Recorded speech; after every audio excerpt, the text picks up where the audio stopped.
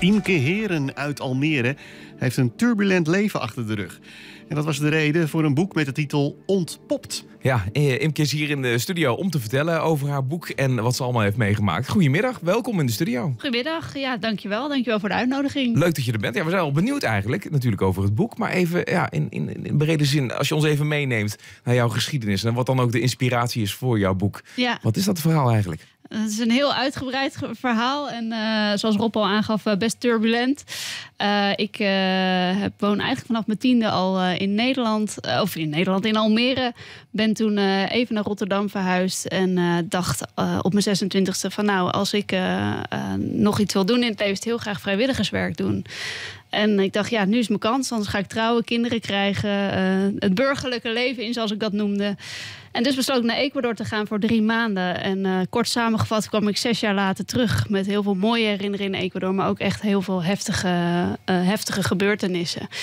Uh, ik kwam met mijn zoontje Yannick, die naast me zit hier in de studio. Ja. die was toen acht maanden oud. Hoi Yannick. Hoi kwam ik uh, terug naar Nederland uh, met uh, een paar duizend euro op mijn rekening. En, en drie koffers met daarin eigenlijk heel mijn leven. En ik moest helemaal opnieuw beginnen. En, dat heb je gewoon in, eventjes in één minuut verteld, hè? Ja, even heel kort samengevat. maar even kijken, Ecuador. Je ging daar vrijwilligerswerk doen. Wat voor vrijwilligerswerk was dat dan? ik wilde in eerste instantie bij een kinderopvang gaan werken. maar die bleek gesloten. Toen heb ik eerst een week in een jeugdgevangenis gewerkt. Maar dat was echt zo heftig. en nou, de MeToo-beweging, dat was daar, uh, daar was echt sprake van. Dus uiteindelijk heb ik gezegd, daar wil ik niet, voelde ik me niet meer veilig. Dus dan heb ik drie weken in een kinderziekenhuis gewerkt. Mm -hmm. En daar zag ik gewoon kinderen doodgaan omdat het ziekenhuis geen medicijnen had. Uh, ouders geen geld hadden om medicijnen te kopen. Dus toen dacht ik, ja, waar maak ik me in Nederland eigenlijk druk om? Waar, waar gaat het over? Waarom werk ik mezelf over de kop? Dit is waar het leven over gaat. En toen ben je daar gebleven? Ja, toen heb ik een baan gevonden. Ben ik twee maanden terug naar Nederland gegaan om allemaal spullen te verkopen. En uh, toen uh, teruggegaan in eerste instantie voor een jaar. Maar ja, toen een beetje blijven hangen. Wat voor baan heb je gevonden daar dan? Ik uh, werkte in toerisme. Ik uh, ben begonnen daar eigenlijk als reisagent. Ik heb daar totaal, had daar totaal geen ervaring mee. Ik heb psychologie gestudeerd en daarvoor als uh, consultant en trainer gewerkt. Um, maar ja, ik maakte me de stop best wel snel eigen. En uiteindelijk manager geworden daar op het reisbureau waar ik werkte. Ja. maar je, in, je, je, kennismaking met Ecuador was natuurlijk heel vervelend. Met, met die gevangenis en al die armoede en, en dat gedoe. waarom ben je daar dan eigenlijk blijven hangen? Nou, ik vond het niet zozeer vervelend. Ik vond het vooral heel indrukwekkend. Dat ik dacht van ja, dit is, dit is de essentie. Als ik iemand anders kan gaan helpen. Um, uh, dan is mijn leven van waarde, zeg maar. Dan kan ik iets toevoegen, de wereld een beetje verbeteren, zeg maar. Het, ideale plaatje, wat uh, denk ik veel van ons hebben, maar uiteindelijk niet doen. En heb je het, het gevoel dat je daaraan hebt bijgedragen? Dat het is een soort van gelukt?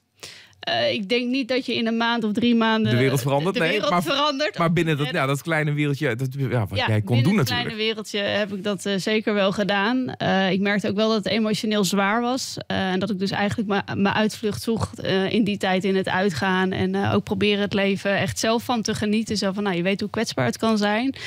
Um, maar ik, het is meer mijn persoonlijkheid ook dat ik graag de redder wilde zijn. Dus ik merkte ook zowel in het werk als ook in relaties dat ik echt heel snel voor een ander ging zorgen en daarbij voorbij ging aan mezelf. En dat is ook waar mijn boek over gaat. Van, van ja, zorg niet alleen voor een ander, maar zorg juist in eerste instantie heel goed voor jezelf. Maar kun je daar een voorbeeld van noemen, wat je dan, wat je dan daar hebt gedaan? Ja. Uh, nou ja, ik heb uh, relaties gehad met mensen die, die echt uit de armoede kwamen. Uh, die echt niks hadden.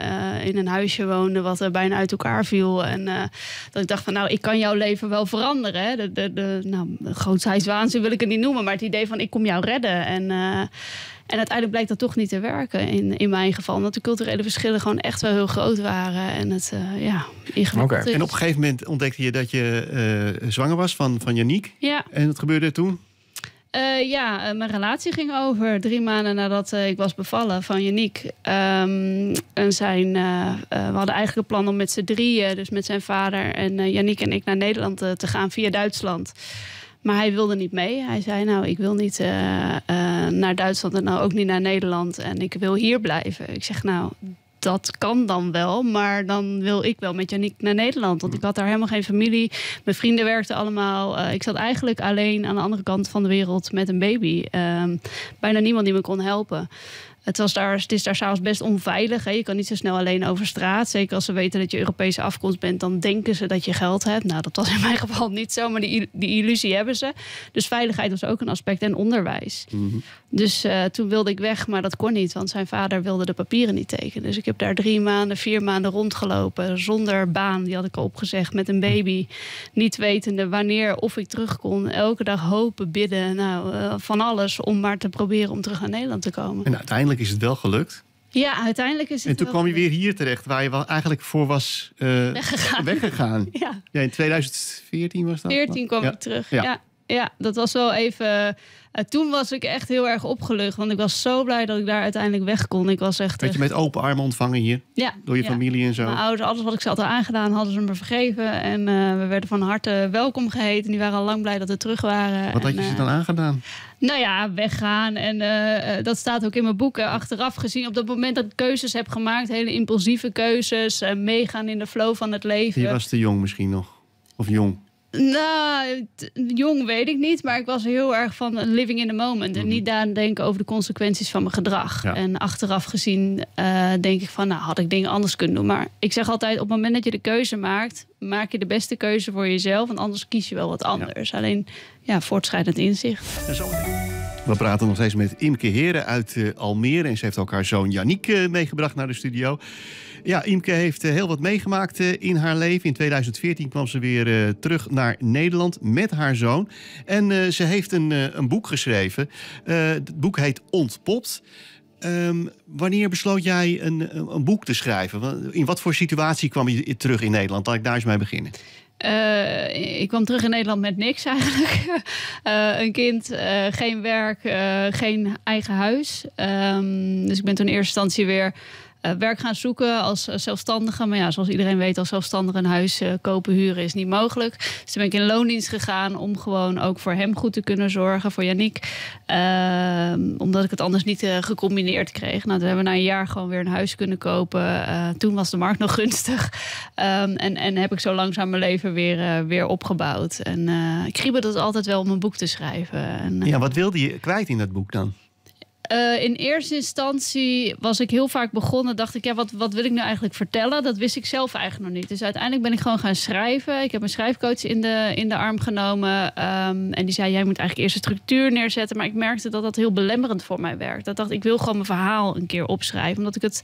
Ik werkte in de sales. En heel veel mensen aan wie ik een deel van mijn verhaal vertelde... die zeiden, wauw, wat inspirerend. Daar wil ik meer over weten. En, en wat een power heb je in je. En uh, dat je zo door al die situaties heen bent gegaan. Dus ik dacht, ja, dat, dat wil ik dan met de wereld delen. Al is er maar één iemand die, er, ja, die ik daar een beetje mee kan helpen... of die ik inspireer om inderdaad voor zichzelf te kiezen... dan, uh, dan doe ik dat. Ja, het is natuurlijk een heel bijzonder verhaal. Je vertelde het eerder al, uh, je jaren in Ecuador. En nou goed, uiteindelijk je zoontje die uh, daar geboren is... Ja. en die je hebt meegenomen naar Nederland. Die zit dus naast je, Yannick.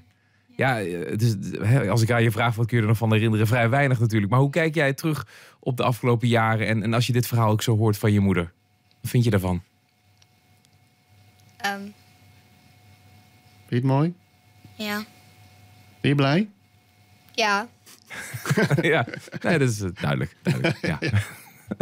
Ja, misschien kun jij het ook een beetje voor hem eh, beantwoorden. Hoe heeft hij dat meegemaakt allemaal? Uh, niet heel, heel bewust natuurlijk. Hij was acht maanden toen we naar Nederland kwamen. Ja, maar die jaren, ja. Uh, nou ja, hier. ik weet wel, hij was 2,5 en toen was het kwart voor zeven 's ochtends. En toen werd hij wakker. Toen zei hij, mama, waar is mijn papa eigenlijk?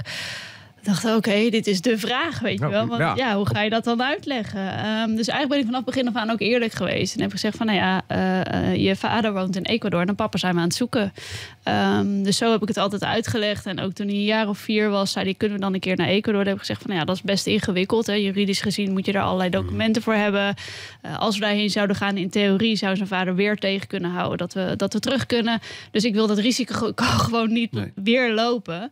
Um, en dat heb ik hem ook gewoon eerlijk verteld. Omdat ik vind dat je daar ook open over mag zijn. Zonder dat je um, uh, al je ellende die je zelf hebt meegemaakt deelt. Weet je, het is en blijft allemaal wel zijn vader. En wat er tussen ons is gebeurd, daar heeft hij in die zin Yannick niet zoveel nee. mee te maken. En, en hij mag zelf zijn eigen keuzes maken. Of hij met zijn vader in contact is, ja of nee. Uh, dat is niet aan mij. Um, dus ja. Dat is eh, best een, eh, een proces. En nog steeds zoekende af en toe van eh, hoe gaan we bepaalde dingen delen. Ja. In je boek heb je dus, om, beschrijf je dus een beetje je geschiedenis. maar je wil ook een boodschap, er ook een boodschap mee. Wat, voor, wat is die boodschap? Vooral jezelf liefhebben. En vooral eerst goed voor jezelf zorgen. En jezelf nooit wegcijferen voor een ander. En niet altijd de erkenning en waardering buiten je zoeken. Maar vooral bij jezelf. Hoe heb je dat ontdekt dan? Eh, omdat ik merkte dat ik continu in hetzelfde patroon viel van relaties. eh, maar ook in werk. Dat ik continu heel hard voor andere mensen aan het werk was. Maar heb je een inspirator gehad of heb je het zelf allemaal... eh, Ik heb een jaarprogramma gevolgd. Dus daarin heb ik echt van hoofd naar hart gegaan, zeg maar. Ehm, en dat wel echt bij mezelf in die zin ja, ontdekt. Dat is een proces wat je aangaat. En eh, eh, heel heftig ook. Hè? Want je wordt echt wel geconfronteerd met je eigen donkere kanten die je vaak wegstopt. Ehm, maar wel heel leerzaam, ja. en je bent nu ontpopt. Ik ben nu ontpopt, ja. ja. ik werk nu twee jaar als zelfstandig ondernemer. Ik doe allemaal dingen die ik leuk vind. Ik heb eh, elke dag zin om eh, dingen te doen. En, eh, en durf ook echt mezelf te zijn. En mezelf echt gewoon te laten zien. En hoe is het dan in de liefde nu? Ja, vroeger was het dan van hot naar her. en Ja, nu, eh, nu al vier jaar een relatie Oké. met, eh, met Martijn. Die, we hebben elkaar in een grot in Frankrijk leren kennen. Dat is weer een heel ander verhaal. Maar ook wel heel beste bijzonder. locaties. Het volgende boek. Het volgende Ja, ja, ja. boek. dus eh, ja, en dat is heel fijn. En, en daarin merk ik ook dat ik ook echt wel veranderd ben. En dat ik niet in diezelfde valkuilen trap als die ik eerder heb gehad. Ja.